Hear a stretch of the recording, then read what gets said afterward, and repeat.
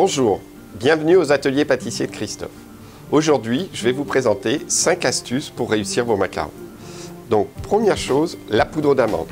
La plus fine possible, vous pouvez la passer dans un robot pour l'affiner et ensuite la passer au tamis pour avoir quelque chose de, de très fin pour que vos macarons soient bien lisses. Ensuite, les blancs d'œufs. On va avoir des blancs d'œufs qui vont être minimum 24 heures à l'avance. Vous pouvez utiliser aussi des blancs congelés.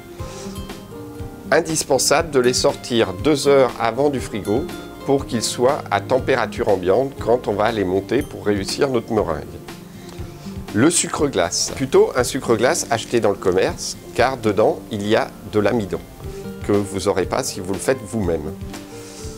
Pour réussir vos macarons aussi, n'utilisez pas les colorants liquides. Vous utiliserez des colorants en poudre que vous trouverez aussi dans le commerce, dans les magasins spécialisés.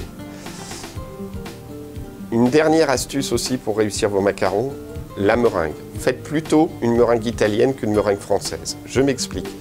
La meringue italienne, c'est une meringue avec un sucre cuit qu'on va verser dans nos blancs d'œufs. La meringue française, c'est un sucre que l'on verse directement dans nos blancs. Et là, on a une meringue moins homogène. Avec ces cinq astuces, je vous souhaite une bonne réussite dans vos macarons.